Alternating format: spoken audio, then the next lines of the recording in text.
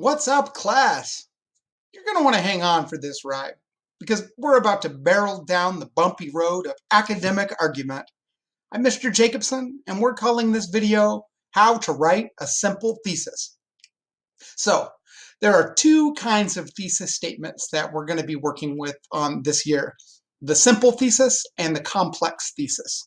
For today, we're only going to focus on the simple thesis because basically, once you have this down, the complex thesis is really pretty easy. So the simple thesis looks like this. Why? Because A, B, and C. So what does that mean? If you look at the parts of a thesis, you'll see that there's a why part, which is a claim. If I'm going to build an argument, I have to be claiming something. The A is just a reason supporting my claim. And the B and the C are two more reasons. So why are we using three reasons, right? There's a claim and three reasons. Why, why not five or 10 reasons? So this is the way thesis statements are usually written at American colleges and European colleges too.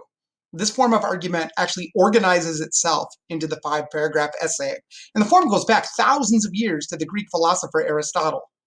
Aristotle believed that the most convincing arguments would use the three most powerful examples to support a claim. So your why is a claim, and the A, B, and C are actually your three best arguments that you can think of that support that claim. So um, interestingly, if you go to college in the West, right, we always write it this way, but if you go in Japan, um, it's considered very rude to just come out and unsophisticated to just come out and state your argument. Um, in the West, though, we like to get right to the point when we're making arguments. So let's do an example thesis and explain what we're trying to do here. So why, because A, B, and C. Um, so there's our why, because A, B, and C. So why? I'm going to make the assertion, my, my claim is that this video right now that you're watching is not a waste of your time. So I'm going to prove it to you here. Why? This video is not a waste of your time because A, so I need to learn to write this kind of thesis to be successful in this class. And for you, that is very true.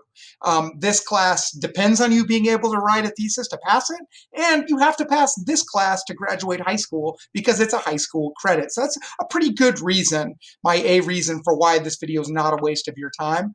B, this form of argument actually organizes a five paragraph essay, which you can ride to a four year college degree. Um, it, once you have this down, it makes writing essays considerably easier.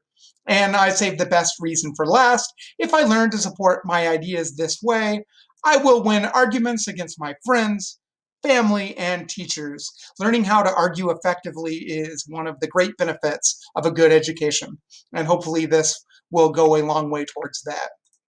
So why? Because A, B, and C, you have your claim, you have a reason supporting your claim, another reason supporting your claim, and a third reason supporting your claim.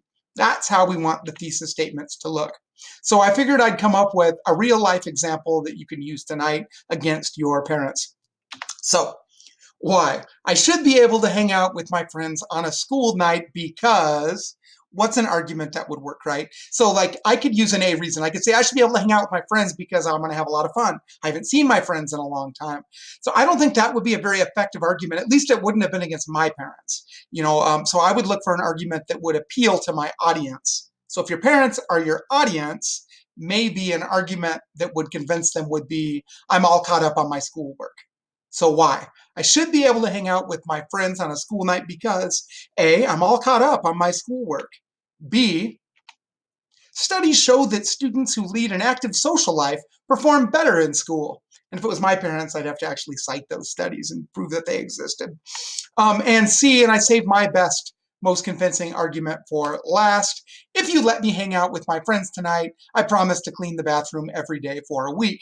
So you see, we have a claim, the why, and three solid reasons, the most solid reasons I could think of that support that why to convince my audience. So that is the gist of the simple thesis. Good luck.